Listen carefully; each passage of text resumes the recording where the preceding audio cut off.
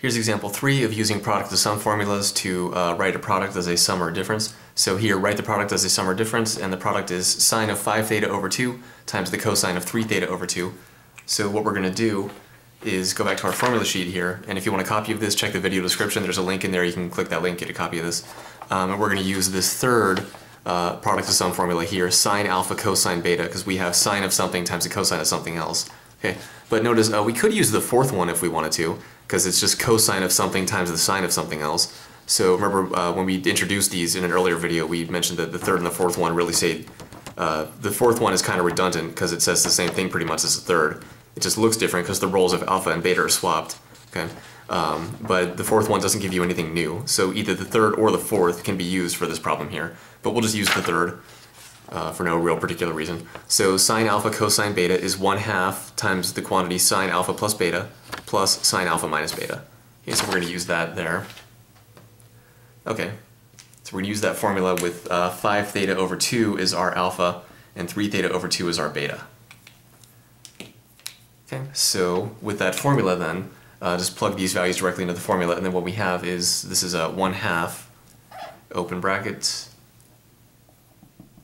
sine of alpha plus beta, so that's 5 theta over 2 plus 3 theta over 2. Okay, that's our alpha plus beta. And then we have plus sine of uh, alpha minus beta, so that's going to be 5 theta over 2 minus 3 theta over 2.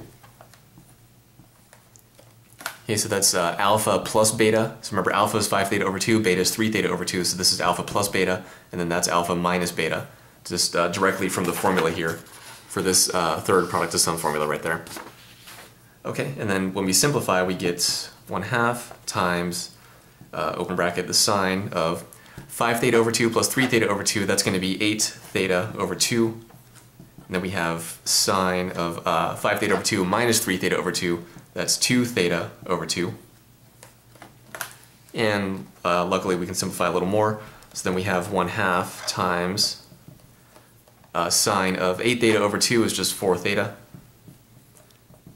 Plus uh, the sine of 2 theta over 2, which is just sine of theta. Okay, so that's pretty much it for uh, example 3 of uh, using the product to sum formulas to write a product as a sum or a difference. And this is our answer here. So this product of uh, a sine and a cosine function were uh, rewritten as a sum of two different sine functions here. So that's example 3.